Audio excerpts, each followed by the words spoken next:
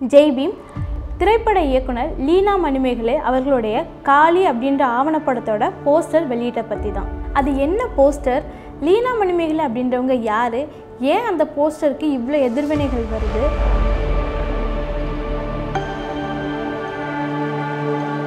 எப்படி நீ எங்கள் இந்து கடவுளை அவமதிக்கலாம்? எங்களோட தாயாக இருக்கிற காளி தேவி சிகரெட் பிடிக்கிற மாதிரியான போஸ்டரை நீ எப்படி வெளியிடலாம்?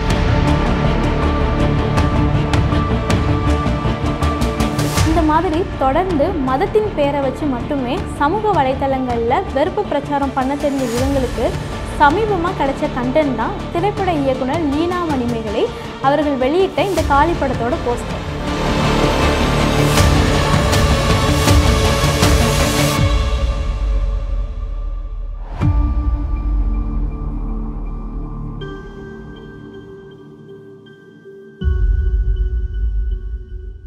ஜெய்பீம் இன்னைக்கு நம்ம அவள் குரலில் பார்க்க போகிறது திரைப்பட இயக்குனர் லீனா மணிமேகலை அவர்களுடைய காளி அப்படின்ற ஆவணப்படத்தோட போஸ்டர் வெளியிட்ட பற்றி தான் இந்த போஸ்டர் வெளியானதுலேருந்து இந்த போஸ்டருக்கான எதிர்வினைகள் அதிகரித்து சமூக வலைத்தளங்களில் வைரலாக பரவ ஆரம்பிச்சிது. அது என்ன போஸ்டர்? லீனா மணிமேகலை அப்படின்றவங்க யார்? ஏன் அந்த போஸ்டருக்கு இவ்வளோ எதிர்வினைகள் வருது? இந்த எதிர்வினைகளை பரப்புறதெல்லாம் யார் அப்படின்றத பற்றி தான் நம்ம பார்க்க போகிறோம் லீனா மணிமேகலை அப்படின்றவங்க ஒரு திரைப்பட இயக்குனர்.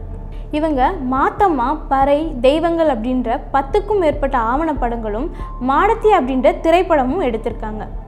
ஒரு கவிஞராகவும் நடிகராகவும் பல விருதுகள் பெற்றவராகவும் தொடர்ந்து உழைக்கும் மக்களின் பிரச்சனையை ஆவணப்படுத்துவது எல்ஜிபிடி சமூக மக்களுக்கு குரல் கொடுப்பது மாதிரியான பல சமூக செயற்பாட்டில் ஈடுபட்டு வரவங்க. இப்போ சர்ச்சைக்கு உள்ளாகி இருக்கிறது காளி அப்படின்ற இவங்களோட இன்னொரு ஆவணப்படத்தோட போஸ்டர் தான். காளிதேவியின் உடை அணிந்த ஒரு பெண் சிகரெட் பிடிக்கிற மாதிரியும் அவங்களோட கையில் எல்ஜிபிடி சமூக மக்களுடைய பெருமைக்குரிய கொடியை வச்சிருக்க மாதிரியான அமைப்பு தான் அந்த போஸ்டர். இதுதாங்க சர்ச்சைக்கு காரணமான விஷயம். எப்படி நீ எங்கள் இந்து கடவுளை அவமதிக்கலாம்? எங்களோட தாயாக இருக்கிற காளி தேவி சிகரெட் பிடிக்கிற மாதிரியான போஸ்டரை நீ எப்படி வெளியிடலாம்? எப்படி எல்ஜிபிடி கொடியை கையில் வச்சிருக்கலான்னு நெட்டிசன்கள் பல சமூக வலைத்தளங்களில் பரப்பிட்டு இருக்காங்க இந்த சர்ச்சையால் வட மாநிலங்களில் பல வலதுசாரி அமைப்புகள் லீலா மணிமேகலை மேலே இந்துக்களோட மனசை புண்படுத்துகிற விதமாக இந்த போஸ்டர் அமைஞ்சிருக்குன்னு புகார் கொடுத்துருக்காங்க. இன்னும் பலர் கொலை மிரட்டல் விடுத்திருக்காங்க. அது மட்டும் இல்லாமல் அரஸ் லீனா மணிமேகலை அப்படின்ற ஹேஷ்டேக்கை பதிவு பண்ணி ட்ரெண்ட் பண்ணிட்டு இருக்காங்க இந்த எதிர்வினைகள் அதிகமாக அதுக்கு பதில் சொல்கிற மாதிரி லீனா மணிமேகலை அவங்களுடைய ட்விட்டர் பக்கத்தில் பல பதிவுகளை போட்டுட்டு வராங்க. அதில் ஒரு பதிவு ஒரு மாலை பொழுதில் டொரண்டோ அப்படின்ற மாநகரில் காளி தோன்றி வீதிகளில் உலா வரும்பொழுது நடக்கிற ஒரு சம்பவம் தான் இந்த படம். படத்தை பார்த்தா அரஸ் லீனா மணிமேகலை அப்படின்ற ஹேஷ்டேக் போடாமல் லவ் யூ லீனான்னு போடுவீங்க அப்படின்னு பதில் சொல்லியிருக்காங்க. அது மட்டும் இல்லாமல் கொலை மிரட்டலுக்கு பதில் சொன்ன லீனா மணிமேகலை எங்கிட்ட இழக்கிறதுக்கு ஒன்றும் இல்லை இருக்கிற வர பயப்படாமல் நம்புவதை பேசும் குரலோட இருப்பேன் அப்படின்னு அவங்களோட கருத்துலேருந்து கொஞ்சம் கூட பின்வாங்காத நிலைப்பாட்டில் தான் இருக்காங்க. இப்போது இந்த போஸ்டர் சர்ச்சை யாருக்கிட்ட இருந்து பெருசாக பேசப்படுது அப்படின்னா ஹிந்துக்களோட காவலாளிகள்னு சொல்லக்கூடிய பிஜேபி மற்றும் ஆர்எஸ்எஸ் கிட்ட இருந்து தான் இங்கே ஹிந்துக்கள்னு சொல்லக்கூடிய கருத்துக்கள்லே நிறைய முரண்பாடுகள் பார்க்கப்படுது. எப்படின்னா எப்போவுமே ஒரு பிரச்சனைக்குரிய விஷயங்களோ அல்லது கலவரத்தை தூண்டக்கூடிய மதம் சார்ந்த விஷயங்களுக்கு மட்டுமே இந்துக்களே ஒன்று சேருங்கள் அப்படின்னு சொல்கிற இவங்க அதே இந்து மதத்தில் இருக்கிற ஒடுக்கப்பட்ட மக்களுக்கு எதிராக நடக்கக்கூடிய வன்முறைகளை எதிர்த்து ஏன் குரல் கொடுக்க மாட்டாங்க அது சரி இது பண்ணுறதுல பாதி பங்கு இவங்களுக்கு மக்களுக்கும் இருக்குன்றதில் எடுத்துக்காட்டாக வட மாநிலங்களில் சிறுபான்மையினர் மற்றும் தலித் மக்களுக்கு எதிராக நடக்கக்கூடிய வன்முறைகளை நம்ம தொடர்ந்து பார்த்துட்டு தான் இருக்கோம். இந்த மாதிரி தொடர்ந்து மதத்தின் பேரை வச்சு மட்டுமே சமூக வலைத்தளங்களில் வெறுப்பு பிரச்சாரம் பண்ண தெரிந்த இவங்களுக்கு சமீபமாக கிடைச்ச கண்டென்ட் தான் திரைப்பட இயக்குனர் லீனா மணிமேகலை அவர்கள் வெளியிட்ட இந்த காளி படத்தோட போஸ்டர் அது மட்டும் இல்லாமல் வலதுசாரி அமைப்புகள் பலர் எழுப்பக்கூடிய கேள்வி என்னென்னா பாஜக நிர்வாகி நுப்பூர் சர்மா முகமது நபிகளை பற்றி சொன்ன கருத்து தப்பு அப்படின்னா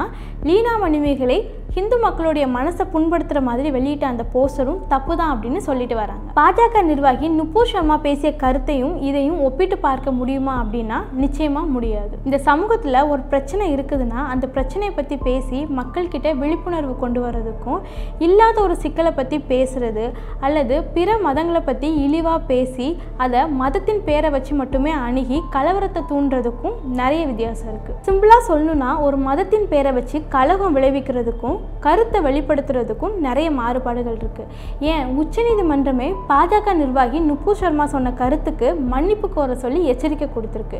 இதில் ஏன் இந்த ஒப்பீடுன்னு தெரியல. இது அவங்களுடைய படைப்பு. அந்த படைப்புக்கு எந்த ஒரு சுதந்திரமான நியாயமான கருத்துக்களையும் அவங்க சொல்லலாம் அப்படின்னு இந்திய அரசியலமைப்பு சட்டமே சொல்லுது. இந்திய அரசியலமைப்பு சட்டம் ஆர்டிகிள் பத்தொம்போதில் ஒன்றின் கீழ் ஃப்ரீடம் ஆஃப் எக்ஸ்பிரஷன் அதாவது பேச்சு சுதந்திரம் என்பது எந்த ஒரு ஊடகத்தின் மூலமாகவும் எடுத்துக்காட்டு வாய் வார்த்தை எழுத்து படம் திரைப்படம் போன்றவற்றின் மூலம் எந்த ஒரு பிரச்சனையிலும் ஒருவருடைய கருத்துக்களையும் அந்த கருத்தை வெளிப்படுத்துவதற்கான உரிமையும் உள்ளடக்கப்பட்டுள்ளது அப்படின்னு குறிப்பிட்டிருக்கு.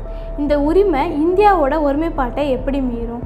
இந்த சமூகத்துக்கிட்டையும் நம்மக்கிட்டையும் இருக்கிற பிரச்சனை பற்றி பேசுறது அப்படின்றது பிற மதங்களையோ அல்லது இந்து மதத்தையோ எங்கேயும் புண்படுத்தலை அப்படின்றது தான் இங்கே உண்மை. ஏன்னா இவங்க இந்து கடவுள்னு அடையாளப்படுத்துகிற காளி எந்த இடத்துலையும் இந்துக்களுடைய கடவுள்னு அடையாளப்படுத்தப்படலை.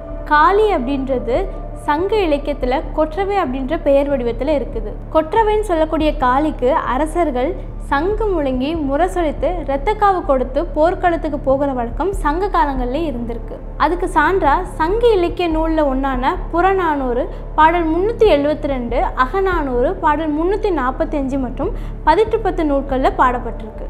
சங்க காலங்களில் இந்து கடவுளுடைய வழிபாட்டுக்கோ அல்லது இந்து அப்படின்ற மதம் இருந்ததுக்கோ எந்த அடையாளமும் இருந்ததில்லை. ஏன்னா இந்து அப்படின்ற சொல்லு சிந்து நதியை வச்சு அடையாளப்படுத்தப்பட்டு வெள்ளையர்களால் கொடுக்கப்பட்ட பெயர் அப்படின்னு ஆராய்ச்சியாளர்கள் பலர் குறிப்பிடுறாங்க. அதனால காளியை இந்துக்களுடைய கடவுள்னு அடையாளப்படுத்த எந்த சான்றும் இங்கே இல்லை. இப்போ சர்ச்சைக்குரிய விஷயமான அந்த போஸ்டர்ல காளி சிகரெட் பிடிக்கிறது அப்படின்றது ஒரு கதையோட புனைவு. ஒரு கதையோட புனைவு எப்பவுமே நம்மளுடைய அன்றாட வாழ்வுல இருந்து எடுக்கப்படுறது தான். அப்படி எடுக்கப்பட்ட அந்த போஸ்டர்ல ஹிந்து கடவுளான காளி எப்படி சிகரெட் பிடிக்கிற மாதிரி வைக்கலாம் அப்படின்னு நெட்டிசன்கள் எதிர்க்கிறாங்க. நம்ம வீட்டிலலாம் வருஷந்தோறும் வழிபடக்கூடிய நாட்டா தெய்வங்களுக்கு படைக்கிற பொருளில் ஒன்று தான் சுருட்டு. அது காலங்காலமாக வச்சு வழிபடக்கூடிய ஒன்று எப்படி நம்ம நாட்டா தெய்வங்கள்லாம் இந்து கடவுளாக மாறி நிற்குதோ அதே மாதிரி தான் நம்ம முன்னோர்களை வழிபடுற வழிபாட்டிலையும் ஆரிய வழிபாடு ஊடுருவி நிற்குது உழைக்கிற மக்கள் எல்லாருமே அவங்களோட தெய்வங்களுக்கு அன்றாட வாழ்வில் அவங்க என்ன சாப்பிட்றாங்களோ என்ன பயன்படுத்துகிறாங்களோ அதை வச்சு மட்டுமே வழிபடுவாங்கன்றது தான் இங்கே உண்மை. தொடர்ந்து வெறுப்பு பிரச்சாரங்களை பண்ணிட்டு வர இவங்க எல்ஜிபிடி சமூக மக்களையும் இழிவுபடுத்துகிற மாதிரியான பிரச்சாரங்களையும் பண்ணிட்டு வராங்க இது மீண்டும் மதவாதிகளோட வன்மத்தை காட்டுற மாதிரி தான் இருக்குது. சக மனிதர்களை மனிதர்களாக பார்க்காம ஜாதியை வச்சும் மதத்தை வச்சும் இப்போ பாலினத்தை வச்சும் புறந்தள்ளுற இந்த சனாதன சமுதாய கட்டமைப்புகள்லையும் அதுக்காக இயக்கப்படுற இந்த அரசாங்கத்துக்கு கீழே தான் நம்ம வாழ்ந்துட்டு இருக்கோம் அப்படின்ற எச்சரிக்கையை இங்கே முன்வைக்கிறோம். தொடர்ந்து மத பிரச்சாரங்களை சமூக வலைத்தளங்களில் பரப்பி இந்திய ஒருமைப்பாட்டை சீரழிக்கிற மதவாதிகளை எதிர்த்து தொடர்ந்து குரல் கொடுப்போம். We stand by the constitution and its fundamental rights Jaypee